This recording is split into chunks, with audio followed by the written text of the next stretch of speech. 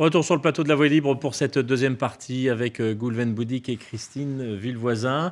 On a vu dans la première partie euh, bien, toutes les personnalités politiques de la région et quelles conséquences cette élection présidentielle pouvait avoir sur euh, leur avenir, sur leur futur mandat. On a vu tout le monde, il manquait juste une personne à droite, Marc Laffineur, le maire d'Avrier, secrétaire d'État aux anciens combattants. Oui, il a 67 ans, il est médecin hein, de formation, il a été élu conseiller général en 82, puis maire d'Avrier en 83 et il est député depuis 1988. Et il sera candidat aux législatives en juin prochain. En juin prochain, dans une circonscription où ça va pas être facile, facile euh, pour lui.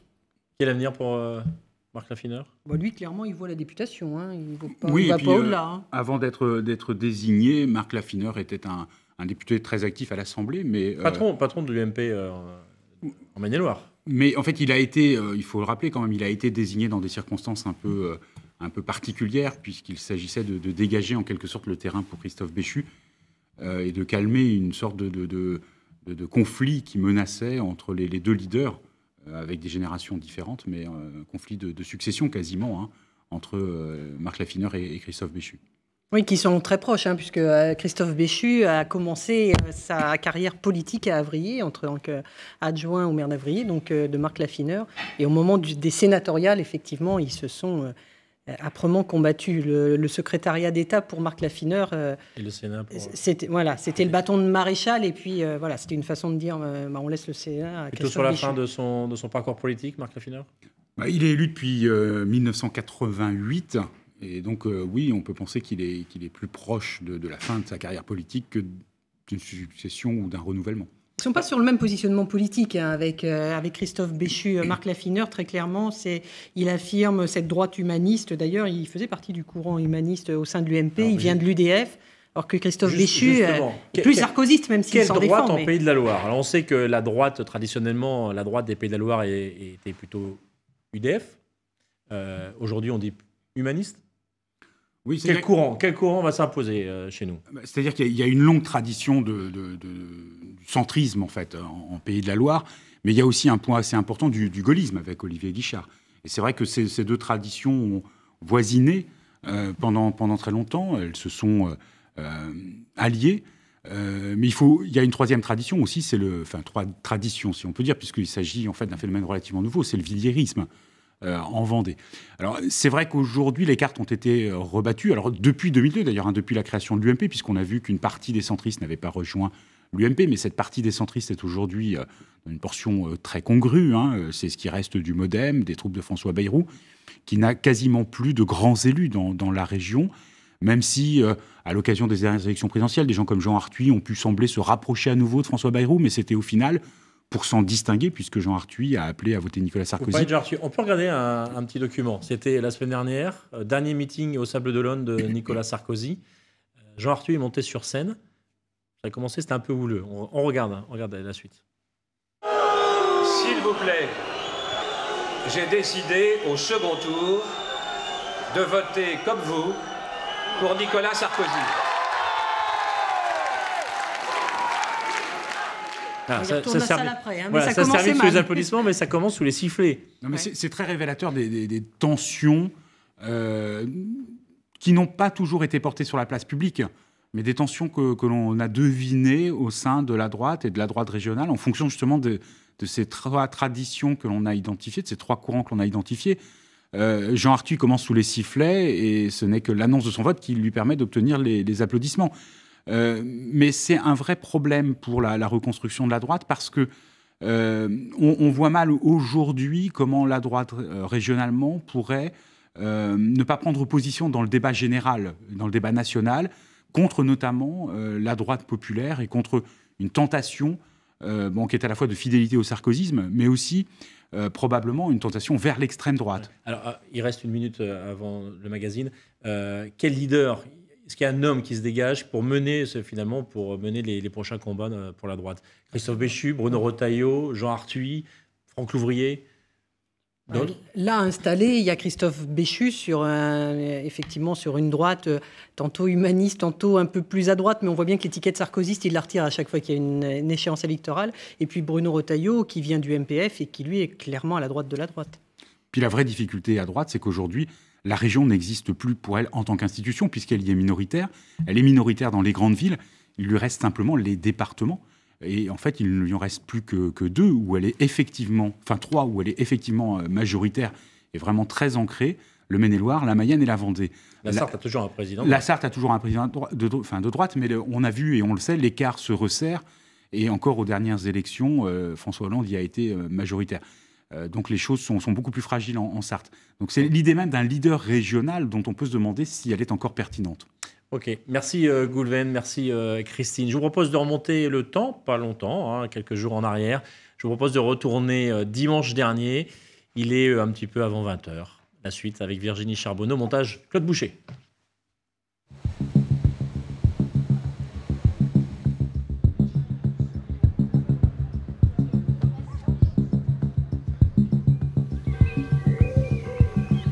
Est quelle heure? 19h 25. 25. François Hollande, 671.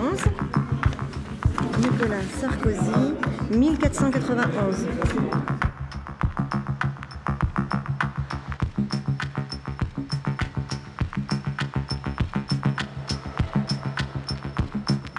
Encore 5 minutes. On y croit plus que jamais aujourd'hui. C'est notre chance et euh, on la laissera pas passer. Quel est votre, votre ressenti là en ce moment? Bah, il est pas bon, hein. Non, ça va. On va attendre 20 heures avec une certaine sérénité.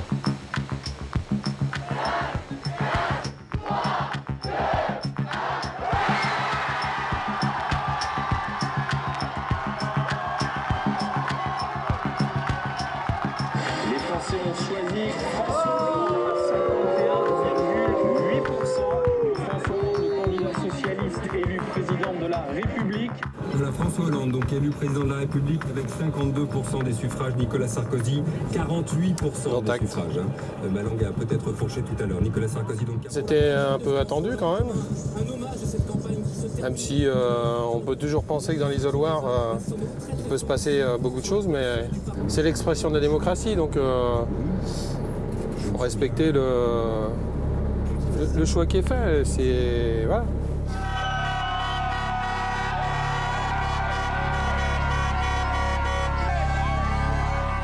Première fois que je vais découvrir un gouvernement de gauche, donc je suis très heureuse que mes valeurs euh, soient enfin portées euh, en haut de la République. Voilà. J'étais très émue aussi parce que ça fait 25 ans que j'attends ça. C'est vrai que moi, je suis secrétaire départementale de l'UMP, donc euh, écoutez, on était là en tout cas pour avoir une victoire. Maintenant, c'est pas le cas. Bien, bah écoutez, euh, c'était une belle campagne.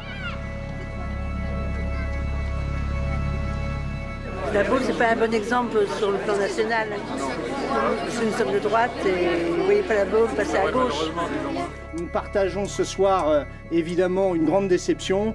Euh, je crois que nous avons fait euh, derrière Nicolas Sarkozy une, une grande et belle campagne. Voilà, je vous invite, vous tous, à rentrer. Nous avons six semaines de campagne, six semaines pour faire de cette circonscription enfin un vrai espoir sur cette agglomération nantaise. Je compte sur vous, je compte sur votre engagement. J'ai la conviction que nous pouvons gagner cette circonscription, mais je ne peux y arriver qu'avec vous. Alors aidez-moi, aidez-moi, et nous y arriverons. Merci. On va prendre les affiches tout de suite. Le champagne était au frais ce soir, on va le laisser six semaines de plus.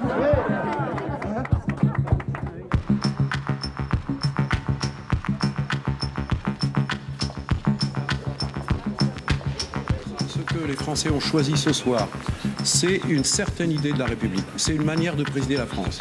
Et d'abord- l'esprit C'est de ça le principal message d'après vous du vote Absolument. Une euh, République réconciliée. Chère maman, je vais pouvoir me marier demain. Je t'embrasse fort. Le changement.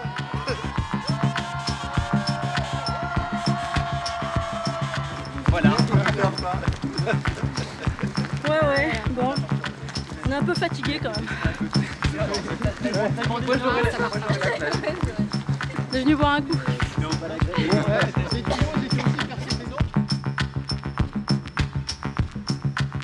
Je reviens de- sur Chaland. euh, Dans tous les bourgs j'ai passés, euh, c'était calme partout. hein. Bah, moi, étant plus jeune, oui, quand Mitterrand a été élu, euh, oui, il y avait plus d'espoir. Aujourd'hui, les gens, je trouve qu'ils sont peut-être un peu blasés. hein.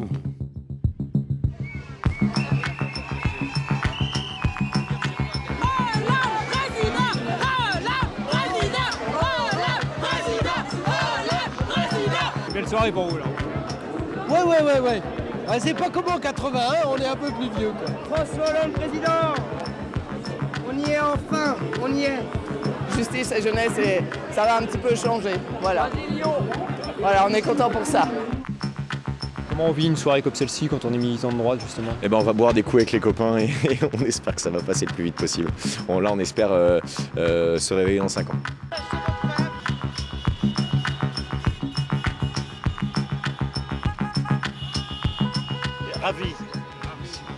Comme disait Barbara, l'air est plus léger aujourd'hui.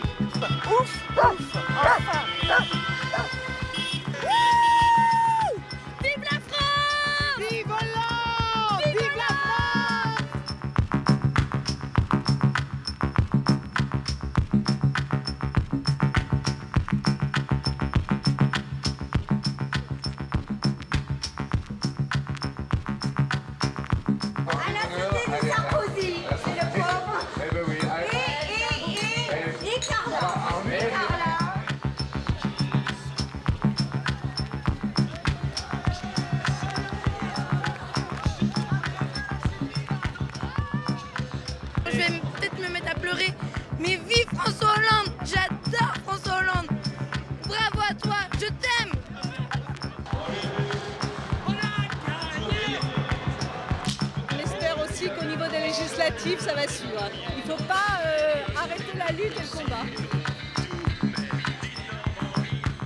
Ah, Nicolas, bah, euh, prends du bon temps. Euh, profite, moi si j'étais toi, personnellement, j'irais un peu au soleil. bravo, mais maintenant profite. voilà.